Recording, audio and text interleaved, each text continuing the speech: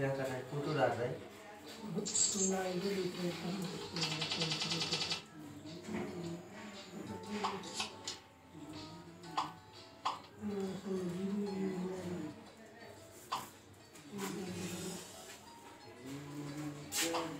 Thank you.